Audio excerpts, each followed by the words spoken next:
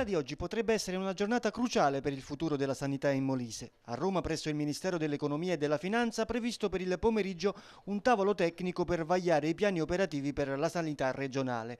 All'incontro con i tecnici ministeriali chiamati a valutare il percorso di rientro dal pesante deficit sanitario regionale prenderà parte anche il presidente commissario Paolo Di Laura Frattura, insieme alle figure apicali della sanità regionale. In caso di approvazione del documento, la Regione Molise avrà i 40 milioni di euro stanziati dalla legge di stabilità 2015 come contributo al risanamento dei debiti pregressi.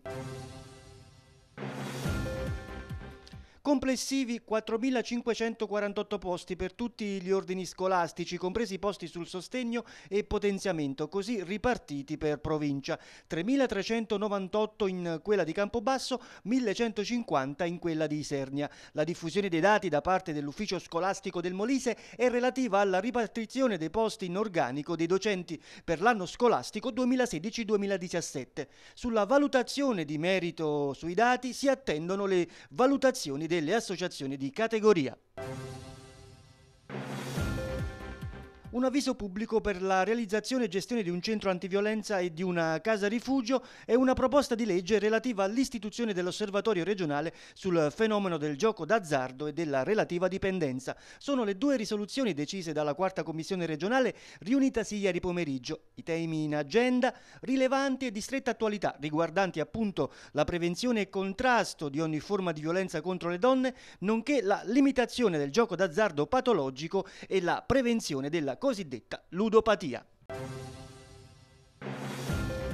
Da qualche mese senza stipendio e senza contratto. È la situazione degli impiegati a tempo determinato nei centri per l'impiego regionali.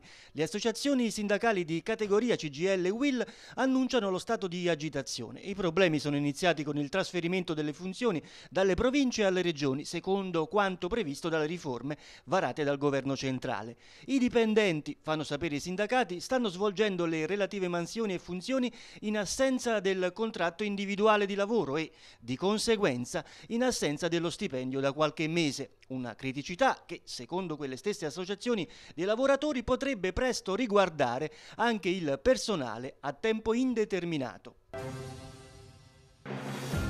Sono oltre 100 gli studenti Unimol che si sono proposti per compiere nell'anno accademico 2016-2017 un percorso di soggiorno studio all'estero attraverso il programma Erasmus. Per salutarli e supportarli, domani si terrà a Campobasso, nella sala della Biblioteca di Ateneo di Viale Manzoni, un seminario informativo. L'Università del Molise, come ribadito dal rettore Gian Maria Palmieri, sta puntando sempre di più su questo strumento voluto e finanziato dalla comunità europea per consentire agli studenti maggiori possibilità di mobilità formativa e lavorativa nei paesi dell'Unione. Gli studenti che hanno partecipato al programma di mobilità Erasmus, fa sapere il rettore, hanno un 20% di probabilità in più di trovare lavoro dopo il conseguimento del titolo.